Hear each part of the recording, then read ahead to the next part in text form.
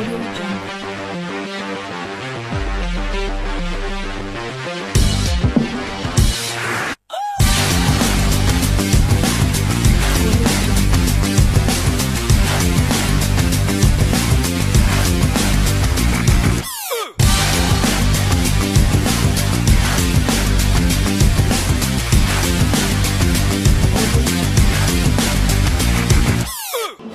Están intratables y anoche nueva victoria en la cancha gandiense contra el Club Baloncesto Alginet de 6 Miller. Es la victoria, como decíamos, en portada del Club Baloncesto Unispel Basket Gandía 8-5-7-3.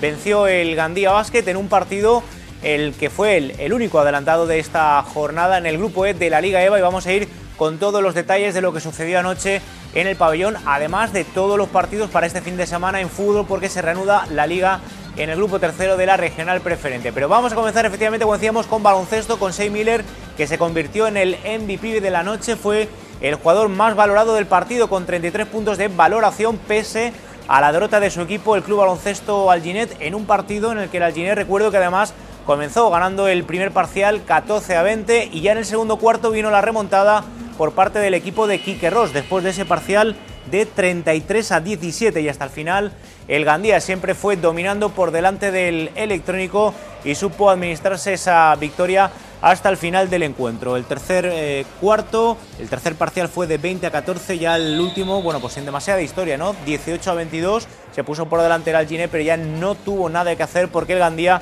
siempre estuvo dominando con una diferencia más o menos de 10 puntos. Por lo que respecta al máximo anotador del Basque Gandía, el mejor fue Guille Gitterer con sus 16 puntos anotados y 12 rebotes. Además, el segundo máximo anotador de Gandía fue Nesevich con 15 puntos y 5 rebotes. Y luego ya el resto repartido, los 13 de Damián Iturriaga, los 9 de Javi Rodríguez, 4 de Carlos Gil, 8 de Kevin Navarro, en fin, en definitiva, lo que se trataba ayer era de sumar una nueva victoria para el conjunto gandiense que ahora mismo sigue como líder en solitario con 10 victorias y una derrota y ahí están los números. La verdad es que es espectacular este inicio de temporada que está teniendo el Basque Gandía. Además, esta mañana en la cadena SER hemos hablado con Shea Miller. La verdad es que teníamos muchas ganas de hablar con el jugador, el exjugador del antiguo Gandía Basket. Ayer fue el MVP con 31 puntos de valoración, como apuntábamos al inicio del programa, con sus 18 puntos anotados y 18 puntos capturados en el partido. Por lo tanto, el próximo viernes en Paterna será el último partido del año 2013. De esta manera, en Paterna se cerraría este año para el conjunto gandiense. Ahora sí, vamos a centrarnos en el fútbol. Vuelve la liga en el grupo tercero de la regional preferente y comenzamos con el Club de Fútbol Gandía que juega el domingo, será a las 4 de la tarde en el campo de Sports Municipal de Javia, un encuentro donde el Gandía, como saben, lleva seis eh, partidos sin puntuar, cinco derrotas consecutivas. Son números que ya empiezan a pesar en el vestuario para el equipo entrenado por Rafa Gomar, pero bueno, el equipo no le falta ilusión. Sí que es verdad que es consciente que ha cometido algunos errores que debe de ir mejorando, sobre todo en el aspecto defensivo. Y hoy, como nos apuntaba el técnico del Gandía, Rafa Gomar, vamos a ver si este domingo acaban con esa racha. No es fácil en el campo del Javia, pero bueno, quién sabe, a ver si el Gandía como mínimo puede puntuar en Javia. Pues la verdad que llega con mucha ilusión, con ganas de intentar romper la racha negativa que llevamos, aún sabiendo lo complicado que es el campo del Javia, por el rival, por el campo, por, todo. Pero creemos que hemos hecho bien las cosas esta semana de parón, que hemos jugado dos partidos, que hemos seguido trabajando. Intentamos que la gente mejore los pequeños errores que nos cuestan partidos e intentamos que no se repitan para ver si podemos sumar uno o tres esta semana. Bueno, y del Club de Fútbol Gandía vamos a hablar del Playas de Gandía porque va a ser el único equipo que va a jugar aquí como local este fin de semana, domingo, cuatro y media de la tarde, estadio Guillermo Laue. El equipo entrenado por Vicente Martichesa se va a enfrentar contra el Pego, que ahora mismo es penúltimo clasificado con seis puntos. Han perdido 10 partidos, solo han ganado uno y como apuntábamos, un Chesa que va a ver el partido desde la grada. Finalmente le han caído cuatro partidos de sanción y por lo tanto esa es la novedad el conjunto de Chesa, que bueno, pues tendrá que ver el partido desde la grada, pero esperemos que el Playas pueda encadenar y pueda sumar otra victoria para seguir escalando posiciones en la clasificación después de las últimas victorias que ha conseguido. El, Playas ahora mismo es octavo, tiene 20 puntos, está a 10 de la promoción del tercero que es el Beniganin, pero insisto que sería importante sumar y en la próxima jornada, el último partido del año sería aquí en casa de nuevo en el Guillermo Laue con ese gran derby contra el Club de Fútbol Gandía.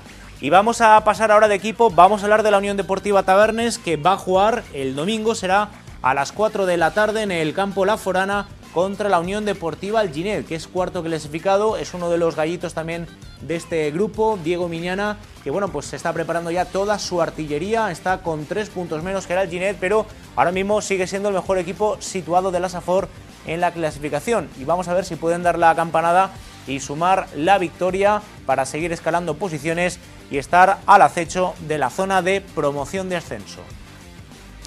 Bueno, estamos entrando en la recta final de Deportes con R y además en el día de hoy tenemos que ver a los amigos de la Fundación Spurna de Gandía.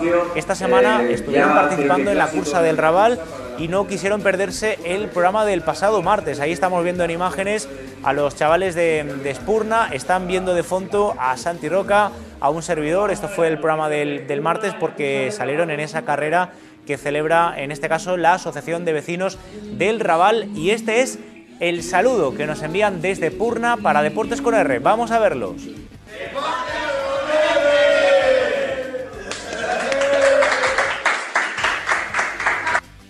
Bueno, pues ahí estaba ese saludo simpático de los miembros de Spurna. Bueno, vamos a cerrar la semana hoy con los pitufos con R. Es una sección que tenemos los jueves, pero ya sabéis que ayer dedicamos el programa especial a la Copa del Rey, a la visita del Fútbol Club Barcelona con motivo de los 13 años, así que hoy recuperamos los pitufos de Deportes con R que esta semana van a estar centrados con los más pequeñitos que estuvieron participando en la cursa del Raval. Lo vemos.